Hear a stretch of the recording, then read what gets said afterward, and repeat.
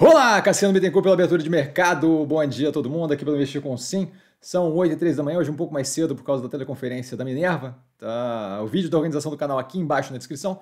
Sempre importante ver, tá? especialmente para galera nova, para ter uma noção de como funciona o canal. Eu começo com um disclaimer que eu falo aqui nada mais é do que a minha opinião sobre investimento, a forma como eu invisto, não é de qualquer forma, modo em geral, indicação de compra ou venda de qualquer ativo do mercado financeiro. Isso dito, a gente teve ontem fechamento negativo do portfólio, tá ainda muito da histeria coletiva, tá o volume baixo, mais alinhado com uma segunda-feira.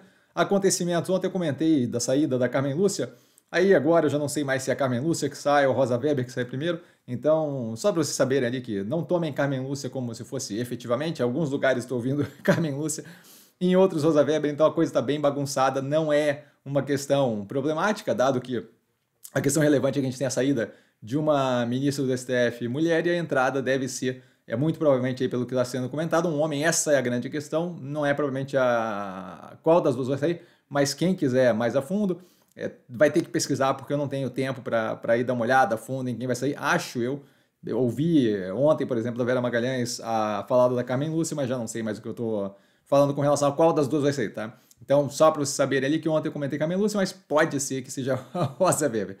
Campos Neto, reforçando novamente que a barra para alterar ritmo é, de redução dos juros alta, tá? o que mostra que a gente deve ter continuidade garantida aí de meio ponto percentual de queda consistentemente na Selic, tá?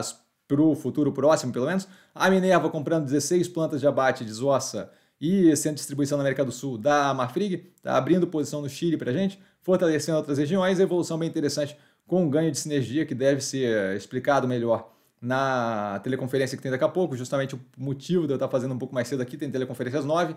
Tá? A tese segue alinhada, agora com mudanças para avaliação, nada que eu veja como vagamente negativo, tudo bem positivo.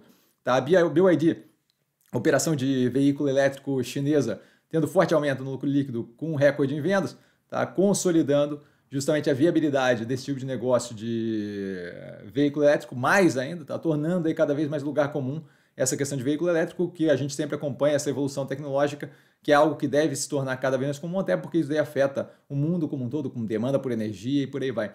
A Embraer é, avaliando fabricação de jatos na Índia, tá? e a Natura explorando possível venda da The Body Shop.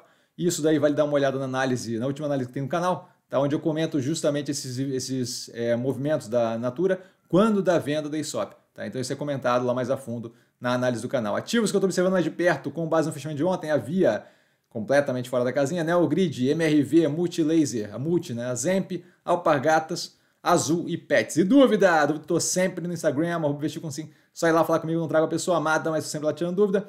Vale lembrar quem aprende a pensar bolsa opera, como era detalhe, um grande beijo a todo mundo. E mais tarde nos vemos nos seleções. Valeu, galera, beijão.